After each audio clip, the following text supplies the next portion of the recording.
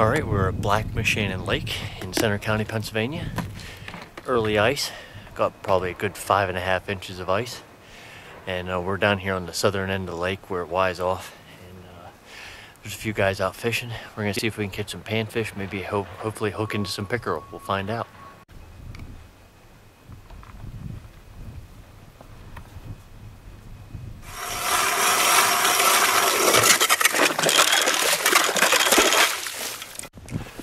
Caught the first fish. And it's a little 12 inch pickerel.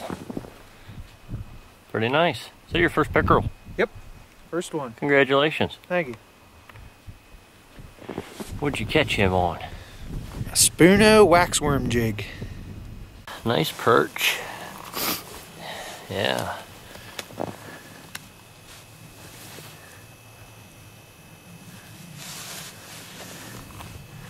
Nice black Moshannon perch.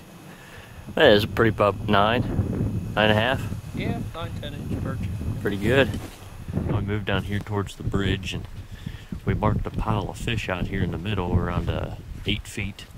But uh, they went through real quick and uh, they just dipped their lines, got through. Eh, this could be a place, uh, you know, if it was a little bit closer, we could try more often. But first time here and uh, pretty much come away with what most people say you're going to have. You're going to catch a couple fish here and there, probably a pickerel. So we didn't get skunked. Well, last week we were Black Moshannon and we did all right. It was more of a test run. It was just great to be on first ice, you know, the, the first time to be on the ice for the season. And uh, didn't catch a whole lot of fish, but you know what? We had fun. It was just great to get out. Now we're going to leave central Pennsylvania and we're headed to Lake Arthur in western Pennsylvania, Butler County, Pennsylvania.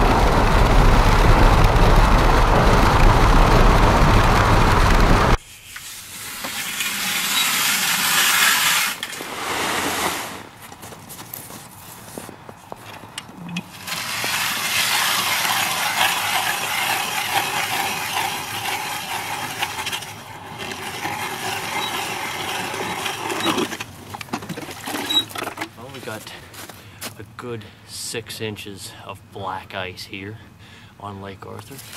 As you can see, there are lots of guys out on the ice today. So we're gonna get the shanty set up here. Got Cody behind the camera and see if we can get on to some fish. Cody with a gill. What are you using? Little tungsten? Yep.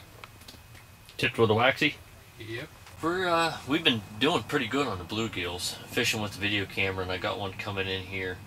Just want to use it lightly right there. There we go.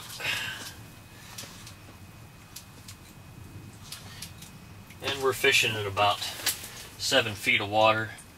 Uh, this is a little dink here. We're using the Marcum and just using little tungsten jigs tipped with waxworms or jigging raps uh, tipped with maggots or waxworms.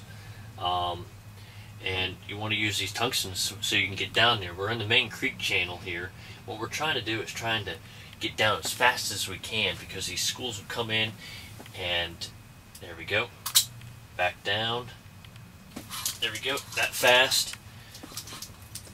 Now most of these ones here are small, but you want to be ready for when that big fish does come down in, uh, you can be right on it. Now, what I'm using right now is a 13 fishing tickle stick in the ultralight 23 inch. I love this rod, and I'm using the, the Black Betty inline reel. Um, and I tell you what, I like this setup. It does really good. Just looking at it. Two, three. There we go. Now, now we're talking a little bit bigger size there. I like to get, when you wrap your whole hand around there and it still doesn't get around, we'll throw this one out. Jig, so here's what Cody was using. Little tungsten jig. There we go.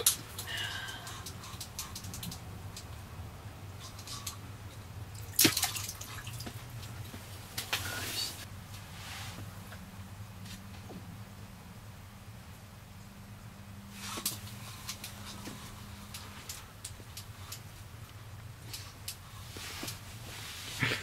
Got it.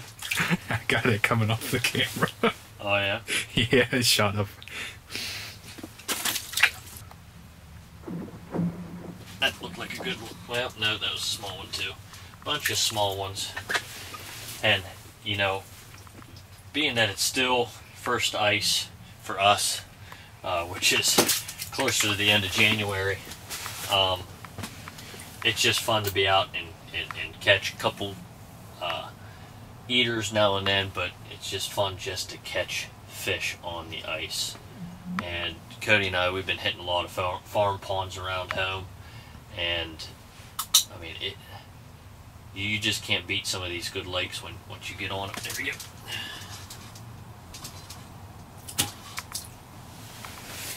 I'm telling you, we're slamming them, but we're not finding the big ones. Every now and then you'll have a have a nice one come in with a school, and uh, that's usually what we're just sitting here waiting, hoping for one of these schools to carry some bigger fish the bigger fish are here. It's just a matter of just waiting. We're in the shanties. We're not really going to go out and look for them. We're just sitting here having fun, playing with the camera. Oh, I missed them.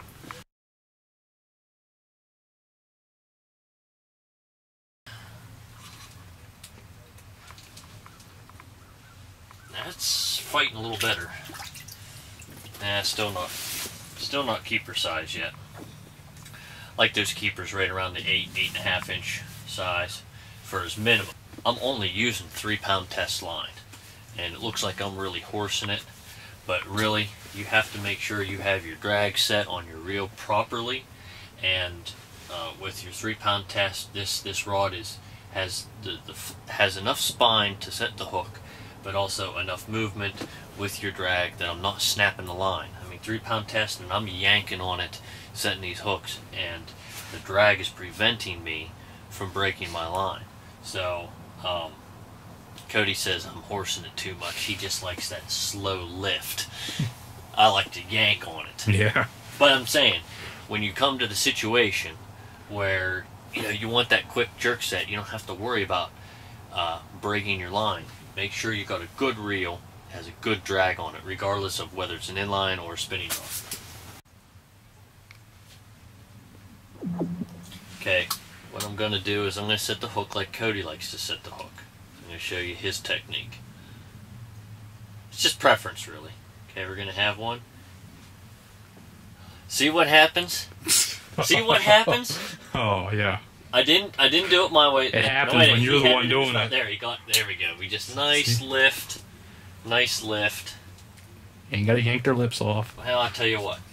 I like to yank it so it pulls it out and brings it out to the corner of their mouth. Okay. Already had to get the pliers down and throw to yours. Oh, wait, hey. You let them take it a little while. Mhm. See, look at. Well, okay, I was wrong. It's on the corner of the mouth. preference, really. We joke around a lot, Mhm. but it's really just preference.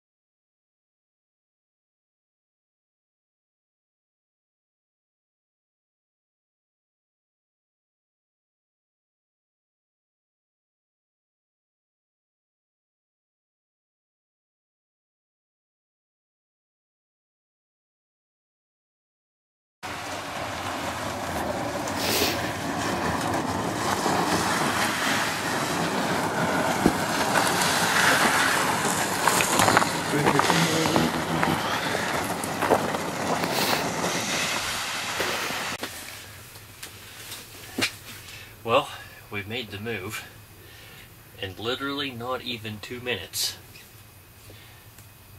Uh, The only thing difference between this spot and the last spot was a half a foot deeper here. That's it. Um, no weeds, no nothing, but little jig and rap slammed it.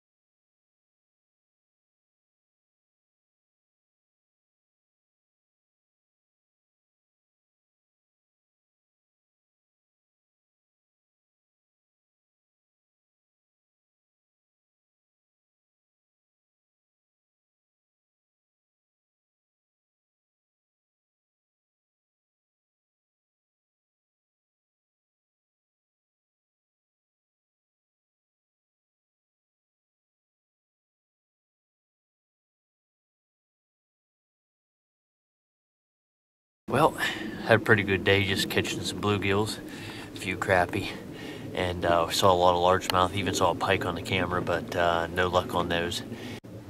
So we're gonna head out and come back another time. So we got the whole crew here. Some nice gills, a little bit of everything today. There it is. Holy crappie. Look at that. That is a slab. It's a largemouth. Tobias.